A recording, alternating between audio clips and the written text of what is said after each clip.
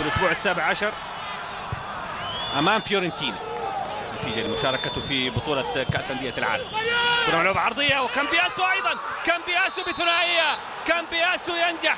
في الدقيقة الرابعة والثلاثين من إحراز هدف ثاني للإنتر يقلب النتيجة.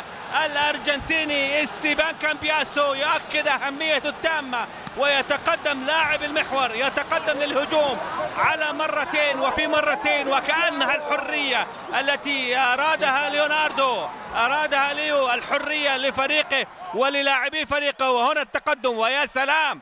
يا سلام على الكرة العرضية وطريقة رفع الكرة العرضية من مايكون. كرة بباطن القدم اليمنى. مرفوعة إلى استيبان كمبياسو وكمبياسو يضعها برأسه على يسار الحارس ماريانا أندوخار. وما يعرف للأرجنتينيين إلا الأرجنتينيين. فجاء الأرجنتيني استيبان كامبياسو بهدفين في مرمى الأرجنتيني ماريانو أندوخار. ويتقدم الإنتر مع الدقيقة الآن الرابعة والثلاثين. أصبحت من زمن شوط المباراة الثاني بهدفين مقابل هدف واحد.